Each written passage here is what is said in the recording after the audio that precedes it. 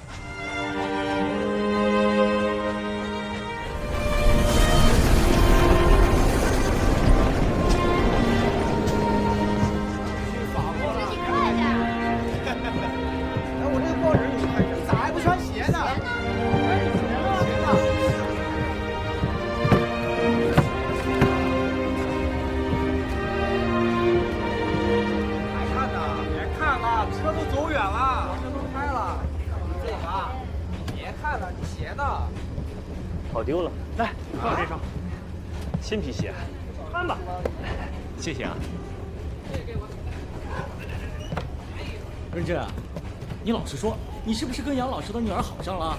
你就不打算出国了？你你别胡别胡说！你毛润之明明是列在华法教育会资助的留学二十五人名单之内，这留学经费应该也不是问题啊。那你的意思是我不够朋友喽？就就是嘛，是嘛。不行啊，这个鞋小啊。我这还有一双。快快快来，谢谢啊。我的想法是这样的：我们当然要有人到国外去，看看新的事物，学习新的道理，研究一些有用的问题，把他们带回来，改造我们的国家。嗯，我们也是这么想的嘛。对呀，一起去，我们都是这样想的，一起去。但是呢，我们也要有人留在我们自己的国家，研究我们自己的问题啊。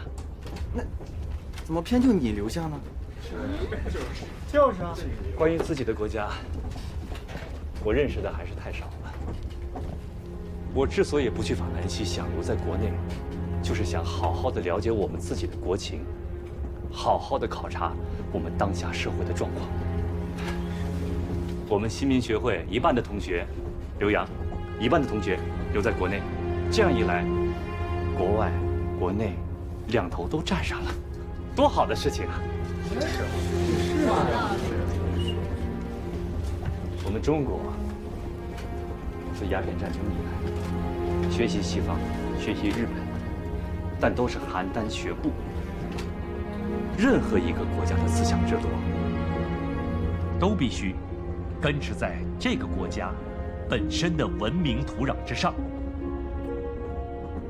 就好比说，我多大的脚？穿多大的鞋，一个道理。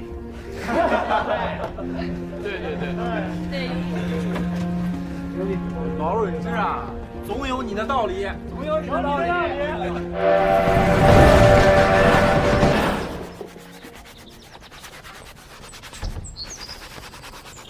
哦，给你哥哥刷鞋呢。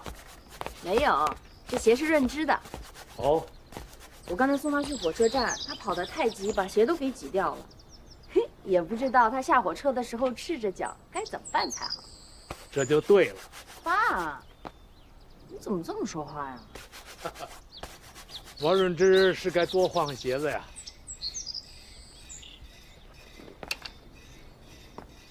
您这是什么意思啊？我一直说毛润之志向远大，是救国之才，不可小觑。现在中西思想众多，其中不乏真知灼见。毛润之虽然没有去法兰西，但是在国内也要多学、多读、多看，多换换鞋。同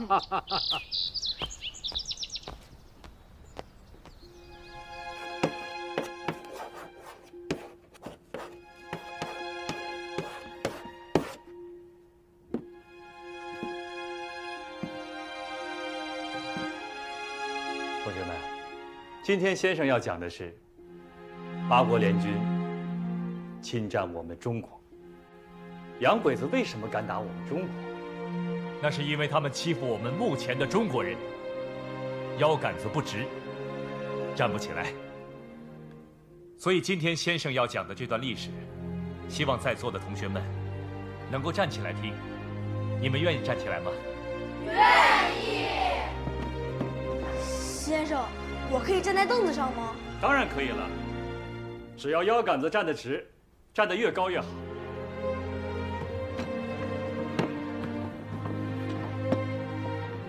没有站上去的同学们，你们的腰杆子不想站得直吗？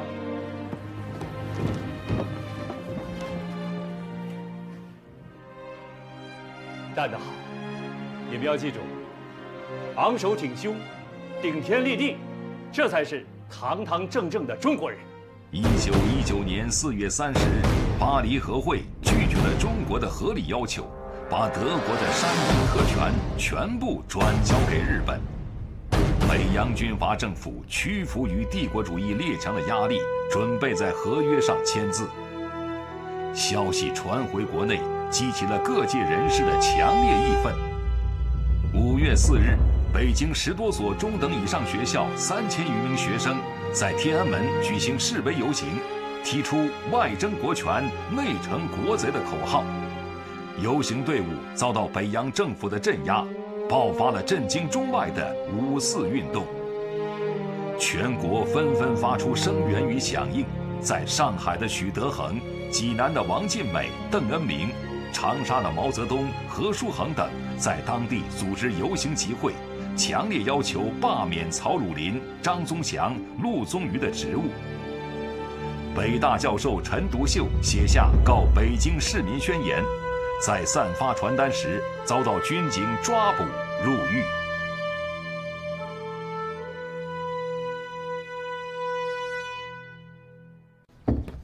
这个仲甫做事啊，怎能如此不谨慎？师之，为什么非要上前撒传单？你不劝让他，还要跟他一起去？你坐，你坐。我以为啊，当务之急是要将仲甫被捕的消息通知全国的各大报馆。对对对，这首要的。上海、北京、长沙、保定、南京各大报馆都需即刻刊登消息，在全国造成强大的舆论攻势，方可迫使政府有所顾忌，不敢胡作非为，营救众府，方可有望。首长，首先要保全他的性命。保全性命。我有一个门生姓席，席位之席，早年曾在清廷邮传部任职。他的祖父呢，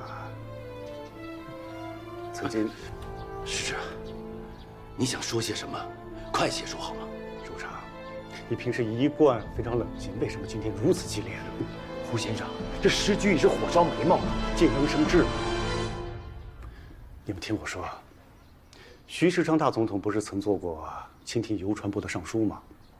早年曾与我这门神之祖父私交甚好。你看，所有的事情不都串成葫芦了吗？容我去通融一下吧。大总统，就是大总统要抓的人呢。对，站着。事到如今，何等方法可以救出陈先生，都可一试。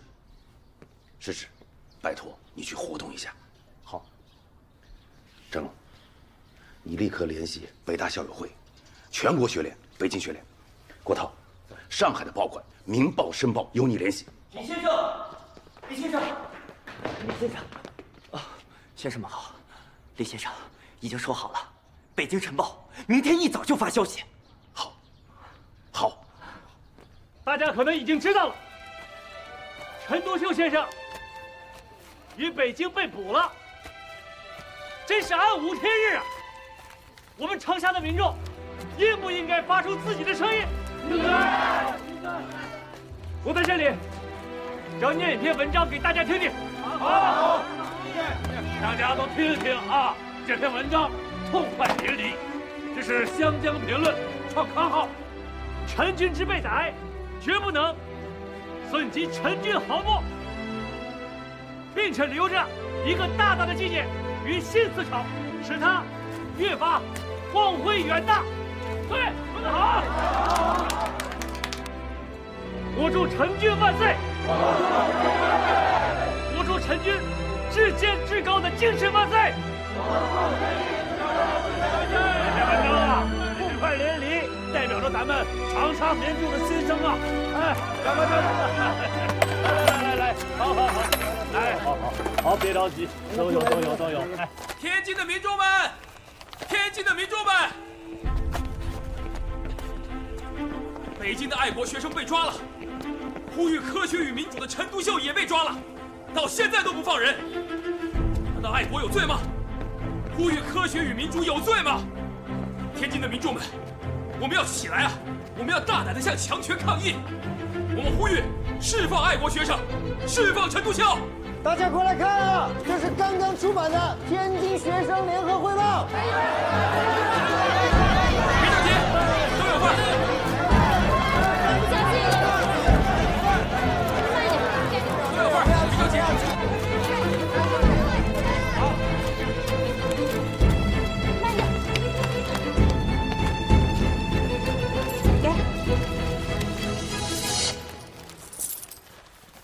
谢谢你啊，小姑娘。马军，说你。我不是小姑娘。好嘞。我都十五岁了。你都十五岁了？都有都有都有都有。哎，我认识你。你是周恩来，就是你负责编印《天津学生联合汇报》的。嗯。我们是天津女校的。学长你好。你好。你们好。我们也参加天津学联了。我有印象了。之前开会的时候是你代表女校参加的，你以后可不能再爬这么高了，不然把你摔坏了怎么办啊？这个小妹妹说的太对了，你刚刚爬那么高，我都替你捏把汗。我知道，你叫邓颖超，是女校学生会的负责人。哎，你不但口才好，还会演话剧呢，我看过。你还会演剧？嗯。三个月前我在日本的时候。跟在日本的留学生一起演了一出新剧。你在日本演过新剧？什么时候有空，我们一起排一出剧，鼓舞民众。我们现在正在排新剧呢，要不你来给我们指导指导？好啊，没问题。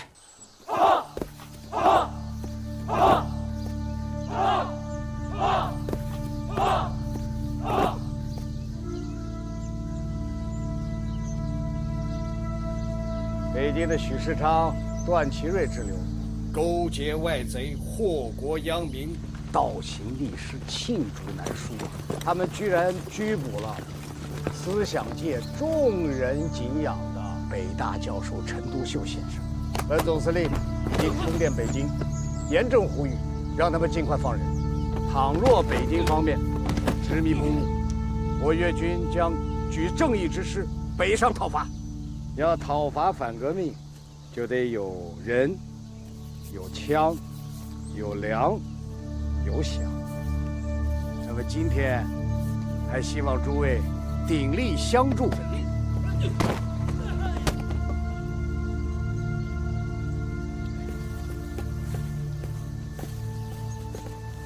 蒋司令，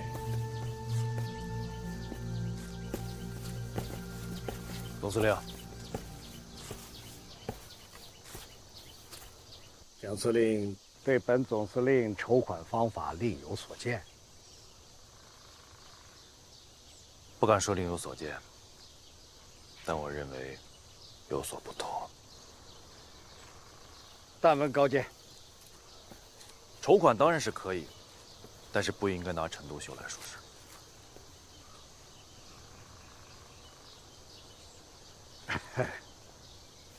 时间过得很快啊，孙总理把你派到粤军来任职也有一年多了，我当然是深知孙总理把你派到我身边的良苦用心。近段时间，我也十分想念孙总理。这样吧，蒋司令这两天再跑一趟上海，想劳烦你面禀孙总理，粤军攻占广州的计划即日拟定，本军定将驱除桂系的莫荣兴，夺回广州。届时一定请孙总理再返广州，重振革命大业。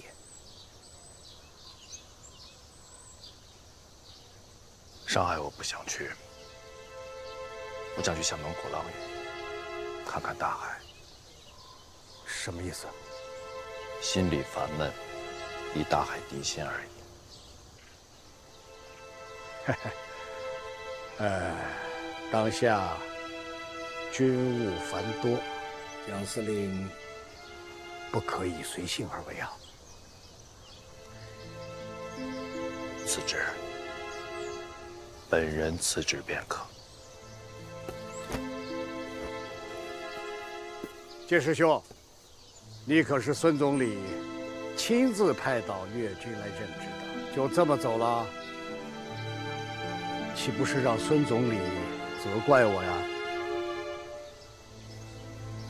告辞。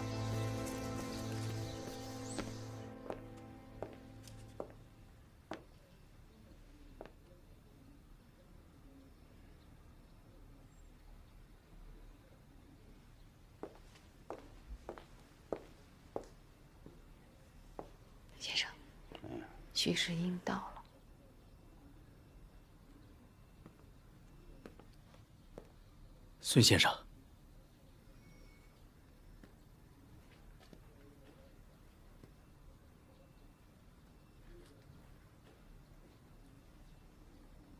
你们为什么要抓捕陈独秀？你们逮捕陈独秀，是做了好事，哼，那足以向国人说明。我反对你们是没有错的，请孙先生息怒。陈独秀过于激进，直接煽动民众。徐大总统也是迫不得已呀。你们说是煽动，我孙文说是唤醒。那我看呢，你们是不敢杀死陈独秀的。这个总要通过司法。徐世英，你既然是徐世昌大总统派来的。那就请你给徐大总统带个话，他徐大总统敢杀死一个陈独秀，在中国增加五十个、一百个陈独秀，就会增加一千个、一万个陈独秀。对，谅徐大总统也不会。请孙先生放心，我这就发电报。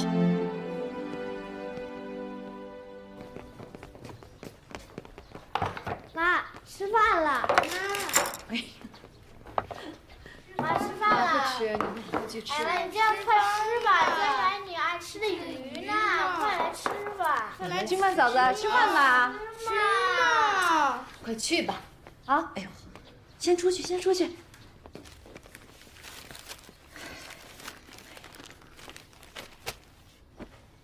君曼嫂子啊，你看看，这些都是头版新闻。现在全国都在呼吁要释放陈先生，没事儿的啊，饭得吃，身体要紧啊。真是吃不下去。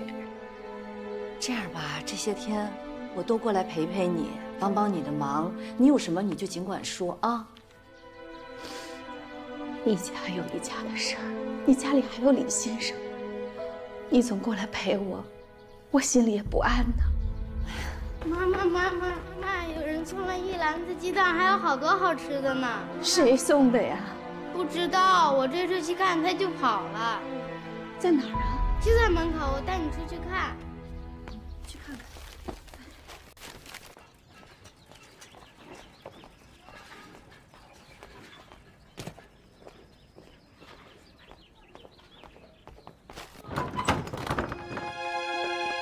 哇，妈，这好多有这么多好多东西。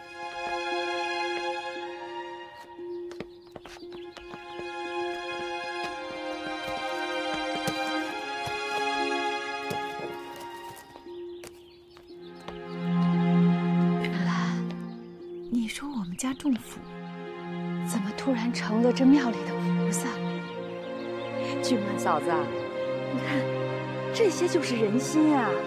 有这么多人在帮陈先生，他一定没事儿的。吉人有天相，好人有好报的，放宽心啊！听你的。何年子美，来，咱把东西拿进去啊！哎呦，这么多好东西，帮忙真棒。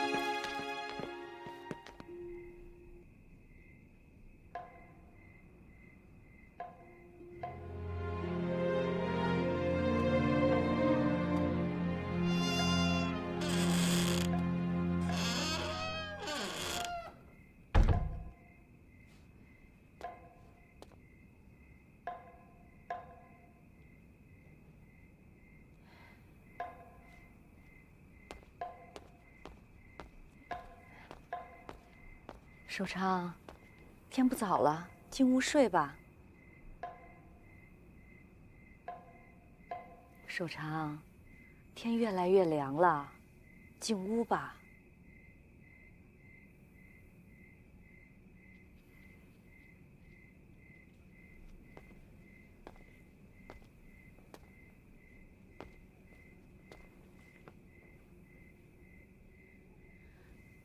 我知道你在挂着陈先生。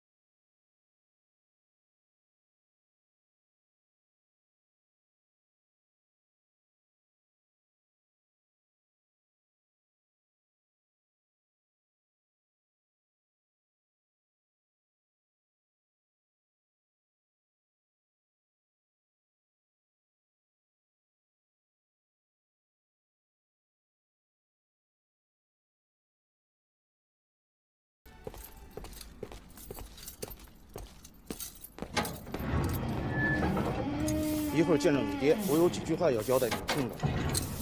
儿子见着老子，无非是磕头行礼请安，那是家里的规矩。人一进大牢啊，通通都是孙子，所以该说的话你要说，该放的屁你要放。哎，你让他闻点臭啊，那是为他好。你爹是朝廷要犯，明摆着凶多吉少，可是他这脾气呢，倔得还像头牛。大总统要砍了他的头，那不就像拍死一只蚊子呀？一会儿你就当他老子，好好训斥训斥他，懂不懂？你到底让不让我进去？我说这么多，那不是为你爹好吗？跟我走吧。哎哎，这个我错了，我我是我是我是我我错了，你说不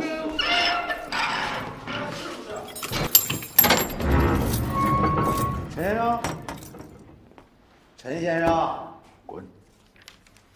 听你这口气，好像你是牢头，我是犯人。这这这这这，您是秀才，我敬您三分。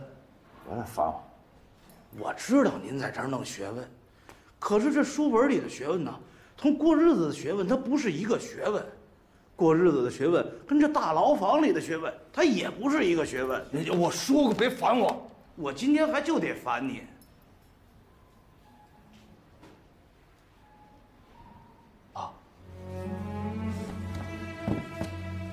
这次你得感谢我吧。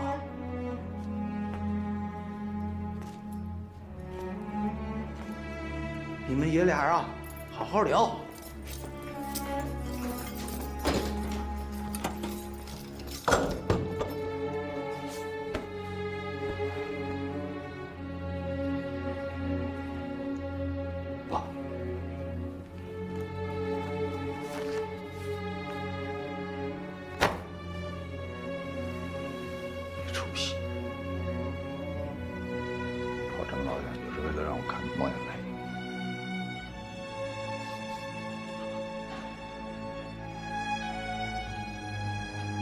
上海去吧！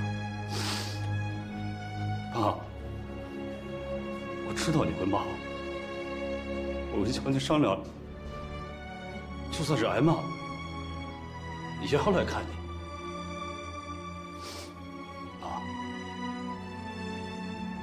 你还好吗？乔年，他好吗？乔年本来也要来看你，但我们俩没钱买车票，就凑了一张钱。乔年跟我说，让我先来看你。你怎么能把他一个人扔在上海？谁照顾他？爸，乔年长大了，我们都长大了。唉，把时间都磨在火车轮子上，荒废学业。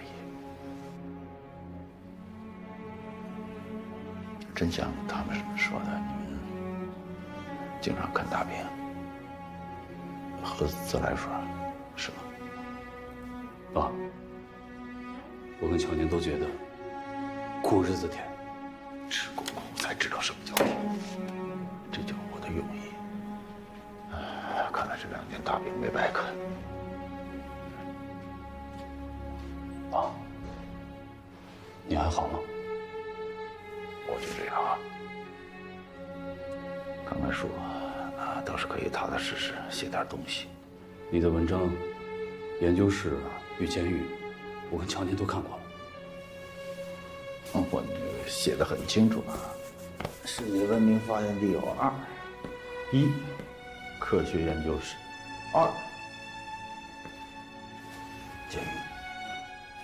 我们青年就要立志，出了研究室就进监狱，出了监狱就进研究室，这才是最高尚、美好的生活。但我们都觉得巴库宁的无政府主义见解更容易懂。巴库宁空喊口号而已。爸，五个月前我们在上海组织了进化社，专门研究了无政府主义学说。巴库宁、克鲁泡特金，德艺飞前。克鲁泡特金这个人啊，有两个面，一面他迷信个人自由，一面又赞成社会组织，既卖矛又卖盾。你买他的货色，一定要小心。你们还是应该多多读李大钊先生的文章，《庶民的胜利》，布尔什维主义的胜利。读过，试看将来环球必是赤旗的世界。这话多有骨气。但是爸，我跟乔年只服真理，谁有理我们听谁的。我我听说你这话里有骨头啊，嗯？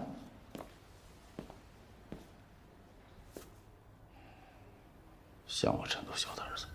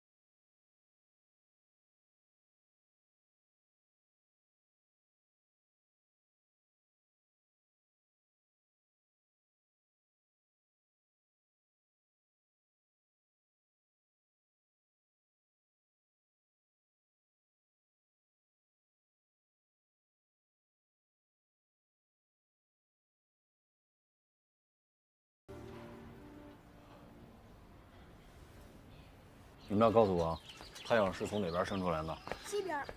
年年，东边。你别顾着陪他们玩，你自己好好吃点东西。来来来，你们俩休息一会儿，去玩会儿，让哥哥好好吃饭。不嘛，我就要哥哥教我画画，就要哥哥教我画画。让哥哥先吃饭。啊？哎，别吃哥哥的东西。你喝点粥，别太干了。谢谢师傅。哎。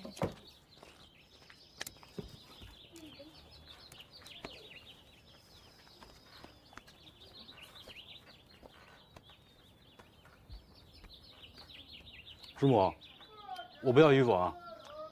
我爸说了，年轻人都穿新衣服不长骨头，我可不要啊！别给我做。在上海听你爹的，到了这四合院啊，你得听我的。嗯。哥，你要听我妈的，连我爸也得听我妈的。哎呀，有你什么事儿啊？延年，哎，哎，君曼嫂子来了。延年，姨妈。家去。你说你到了北京，怎么不回家呀？弟弟妹妹们都想你呢。听话。我爸让我坐火车，让我回上海。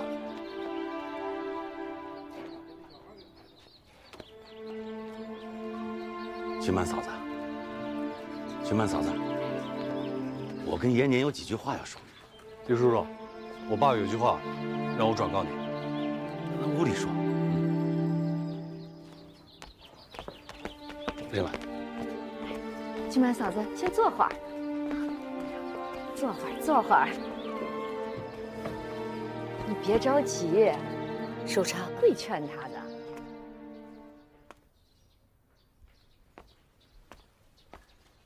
延年，李叔叔，坐。我坐。哎，喝茶。谢谢李叔叔。李叔叔，让我告诉你，你父亲让你转告我一句什么话，你不说，我也知道。是吗？他说他恨我，是不是？啊？他怎么能不恨我呢？我都恨我自己。是我没有阻止他，是我没有坚决的制止他。你知道吗，延年？那往日，我常对你父亲说：“忠父，你不必这样做，你不必那样做。”你父亲年长我十岁，可他都听了我的。可这一次，你父亲气血上涌，要直接行动。我非但没有制止，我还跟他上了街。这一走就走出大祸，令他身陷囹圄。你说他能不恨我吗？年年，你的父亲最不应该在的地方，就是那暗无天日的大牢。他应该是站在报纸上、刊物上，站在演讲台上。全国的民众尤其是你们年轻人，多想听他陈独秀先生站出来说一句话，想看他写的文章。当局安无天日，民众如何奋斗？只要他陈先生站出来讲一句话，那就是黄钟大吕。他现在人在大牢，他应该恨我，他恨我是应该的。李叔叔，您千万别这么说。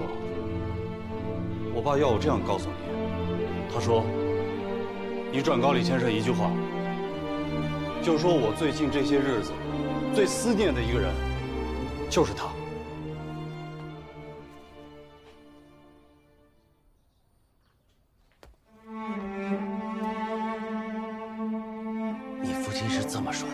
是啊。真的？啊。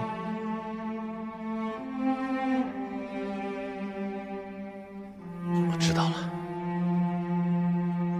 我知道了，坐，坐。哎。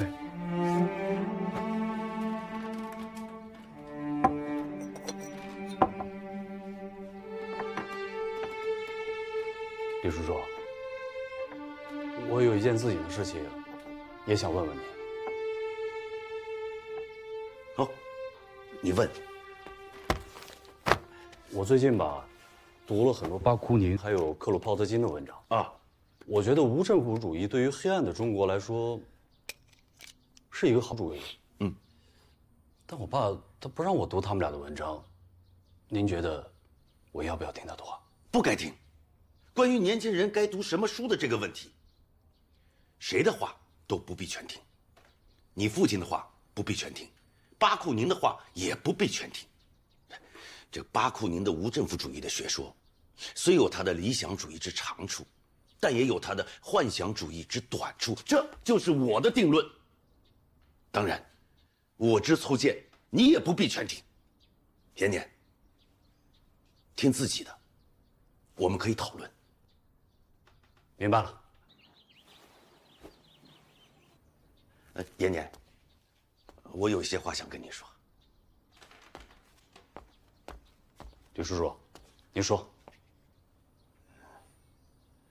高君曼，刚才我听你叫她姨妈，当然，她是你们的姨妈。我知道，你和乔年对于你们的父亲娶了你们的小姨，心有不满意。安庆老家的人也不满意。可她毕竟现在也是你的妈妈。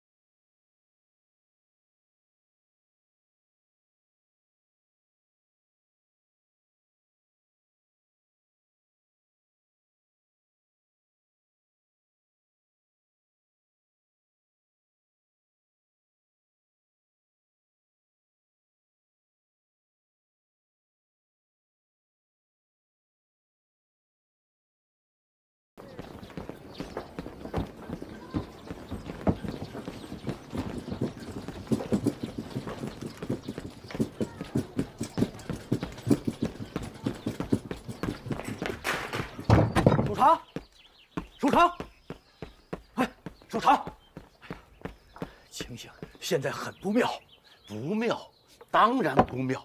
你也看到了，这个胡适之他都写了些什么？哎王先生，什么不妙啊？哎呀，我们可爱的胡教授在报纸上胡说，他说要多研究些问题，少谈些主义。怎么能少谈些主义？主义是最重要的问题啊！你看，他还写道说，谈主义是极容易的事情，是阿猫阿狗都能做的事情，是鹦鹉和留声机都能做的事情，岂有此理嘛？谈主义容易吗？就是因为我们没有找到好的主义，所以中国国将不国，是不是？哎，首长，金拱，如果说现在只是研究问题，少谈主义救国，那那就是害民族、害国家、害今年。首长，哎，你拿去看，你拿去看。首长，你能不能先听听王先生要说什么？我知道他要说什么，他就说这篇文章是不是？哎呀，首长。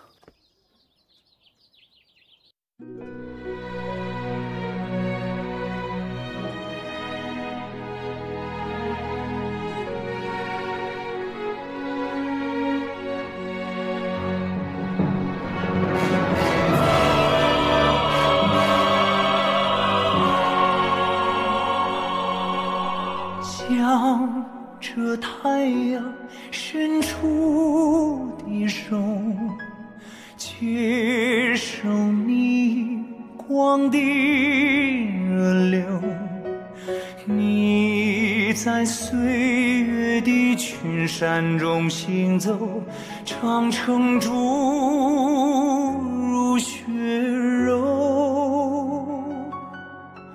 向着太阳昂起的头，铭记你火的春秋。你在历史的大河上行走，神州一万抖擞，把中